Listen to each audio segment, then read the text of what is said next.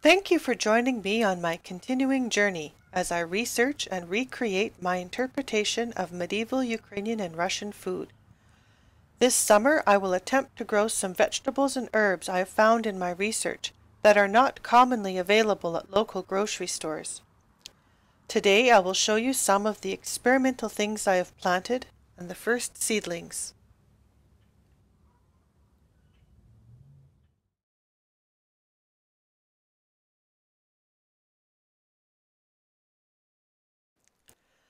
Buckwheat was first domesticated in China.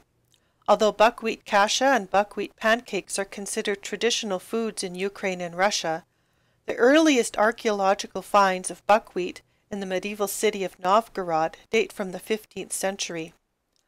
Buckwheat is very nutritious, high in protein, and contains no gluten. Buckwheat honey is highly prized in Ukraine. Although this seed is marketed as a green manure, I will be growing it to maturity to perhaps get some buckwheat honey and harvestable grain. Buckwheat is not a fan of high fertility and is an excellent scavenger of phosphorus.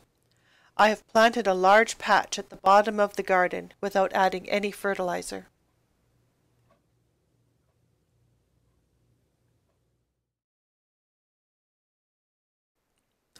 I do try to grow at least a few sunflowers in my garden each year. Even though I and many others associate them with Ukraine and Russia, sunflowers were first domesticated in North America. This year I have planted many sunflowers and have intercropped them with the legume sun hemp at the top of my garden.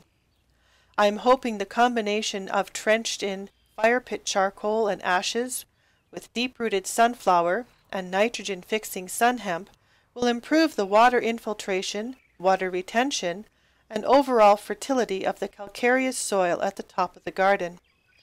I will allow the sunflowers to grow to maturity with the hope of harvesting some sunflower honey and seeds.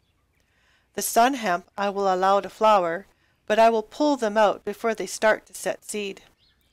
The intercrop sunflower and sun hemp were seeded in the same row, with the half and half fertilizer blend deep banded below the seed row.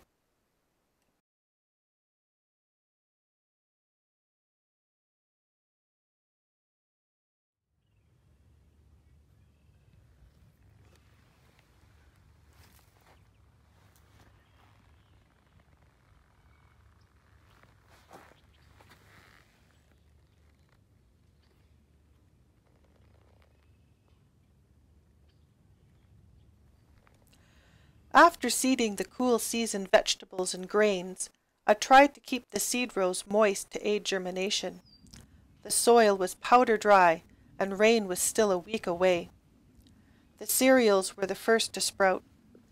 The germination of the einkorn wheat and emmer wheat was poor, but at least I'll get to see what they look like. The Orkney Island Viking barley germinated very well and hopefully I'll have something to harvest at the end of the season.